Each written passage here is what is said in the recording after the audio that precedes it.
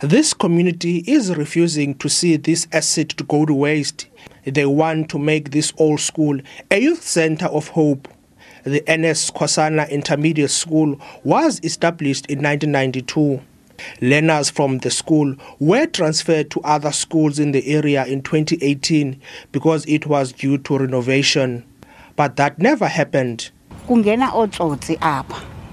There are a lot of criminals activities here. Youngsters smoke drugs.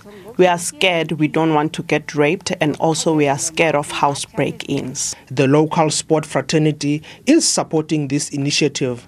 siyavuya thina sithi coaches Our community facilities are not good at all. So the intervention from the community is welcomed.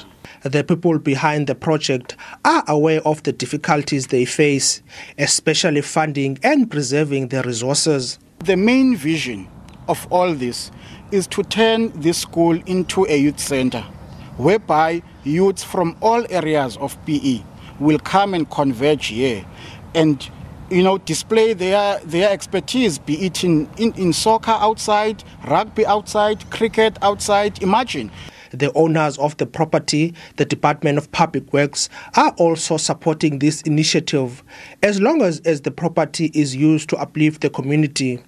This school is also one of more than 1,000 abandoned and unused schools in the Eastern Cape. Zolani Moya, SABC News, Gqeberha in the Eastern Cape. All right, we'll bring you more news after a short break. Do stay with us on On Point.